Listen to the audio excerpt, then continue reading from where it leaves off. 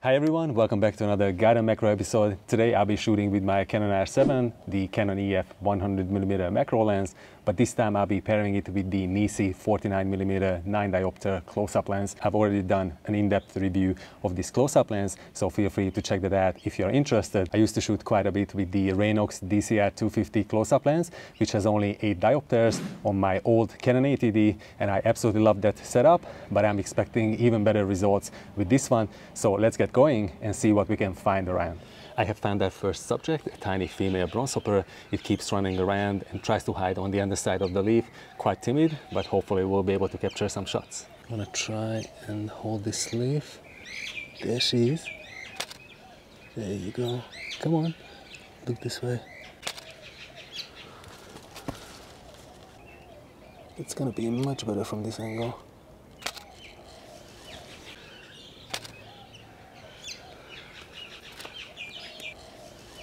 I've got our second potential subject right here. Two tiny flies. They most likely belong to the genus Sapromyza because of those characteristic stripes that you will see on their back. They don't seem to be intimidated by our presence. They seem to be much more focused on each other at the moment. So let's try and grab some shots. These are at the maximum magnification. I'm really close to them. And maybe from this angle, they moved a little bit.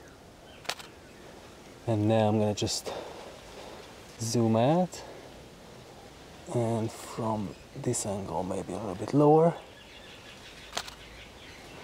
That should be good. I have been looking for tiny whirligig mites for quite some time and this time we got lucky. I just found one on this Swiss cheese plant. I absolutely love this plant because it provides habitat to so many interesting species. By the way, I also got a super close-up footage last year of a specimen preening. You can even see the hemolymph, which is the equivalent of blood in invertebrates circulating in its tiny body. So you should go and check it out. I will leave a link to that video in the description. Let's try and capture it now. I love this. This angle is gonna be really good. I love the low-key background. Oh, just stopped. That's good.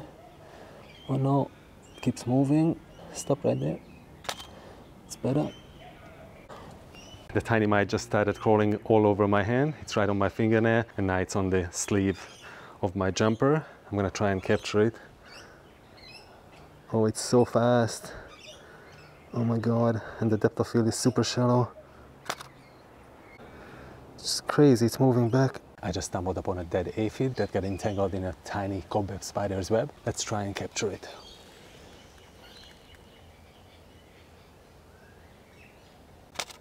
I can't believe how beautiful those iridescent wings are. Now that the weather has been a little bit cooler and we also had quite a bit of rain the last few days, I've been able to spot springtails on rotting leaves. I've also got an educational macro video on springtails in general, so feel free to have a look at that. I think you will find it fascinating. I've already spotted a few, so let's try and capture them. Oh, they're so cute. And I think this one is a globular springtail. Turn it around. And there is another one here that's even smaller. I think it belongs to the genus Neanura right there. Wow. So small this brick wall, if you believe it or not, is one of my favorite go-to spots in our backyard. I usually spot so many jumping spiders here, especially white-banded house jumping spiders. I haven't seen any today, but instead I stumbled upon a large spotted ladybird that got caught in a spider's web. Let's try and capture it now. There are still so many rainbow ants marching on the fence. A couple of weeks ago, I saw a massive swarm moving from the other side of the house, from our driveway up onto this fence, and I captured some really close-up footage as well. So feel free to have a look if you'd like. I just spotted one that's carrying something.